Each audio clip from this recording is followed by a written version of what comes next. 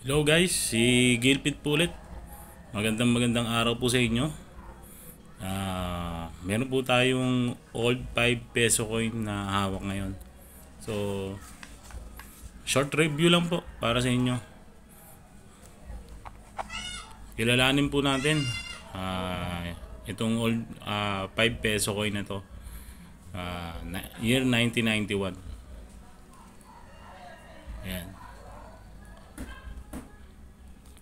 Ang overs niya, Emilio Aguinaldo. Ah, sa baba niya yung date, ah, 1991.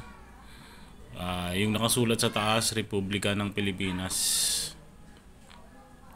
So, ang reverse niya naman is Nara 3. Nara 3 Libs. Ah, meron siyang scientific name na Pterocarpus indicus. Yun po yun. Ang ibig sabihin nun sa Latin words.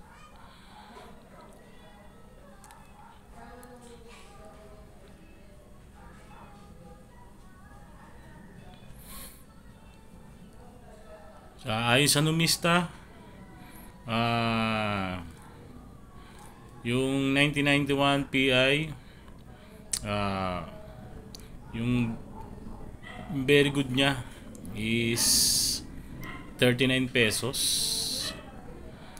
Yung ah, ex- ex- extremely fine is ah 65 pesos. Yung ah, almost uncirculated niya is ah 71 pesos. Ah, yung uncirculated is 81 pesos naman. Ito yung sa ano, yung year 1991. So yung 1992 naman, yung verify niya is 39 pesos. Eh, extremely fine, ah, 72 pesos. Mas mataas po yung ano, 1992. Ah, yung almost uncirculated nito, yung 1992 is 100 ah, 110 pesos. Yung uncirculated niya is 180 180 pesos. So yung ang pinakamababang presyo is yung 1994. Pero yung 1993 niya is yung ah, yung verify niya is 20 25 pesos.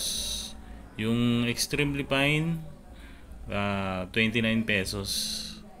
Sa 1994 naman is extremely fine ah, 66 pesos. Yung po yun. So, uncirculated na po ito. Itong 5 peso coin na ito. So, short review, review lang po tayo. So, yung mga may nakatago pang ganito, ah, ipit lang. Baka may maghanap sa inyo.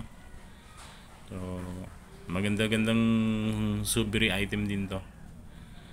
So, shout out nga pala sa ating mga subscriber, sa ating ah, mga manonood sa YouTube yan, sa mga katrabaho natin, God bless, ingat kayo lahat, ingat kayo lagi. Sa mga pinsan natin, kamag-anak, mga kapatid at magulang. ah, ingat kayo palagi, God bless.